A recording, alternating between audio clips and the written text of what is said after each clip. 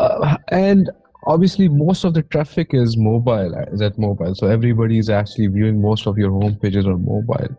How does that uh, uh, changes? Do, is there a different thinking that needs to be done to make those mobile pages work better?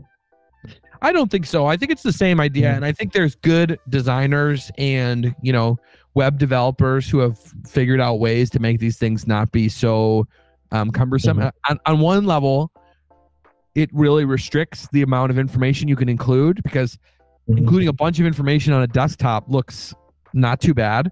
But once you have mm-hmm. to scroll through each of those things one at a time on a mobile, it becomes very clear like, mm-hmm. oh, shoot, we really are squeezing a lot of stuff in this, and this is a bad experience.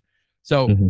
limiting how much information you share, keeping the length of a page shorter in generally is better. Like my my one of my mm-hmm. favorite examples is Uber, right? Giant multi-billion dollar company. Their website is literally four scrolls. It's the mm-hmm. hero is about riding with Uber. The next section is about driving with Uber. The next section is about um, Uber for business, and then the last one is about Uber Eats, and then it's done, and you're at the footer.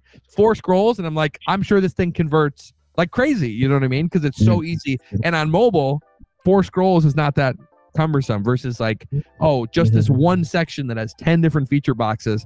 That's one at a time scrolling through each of these. You know.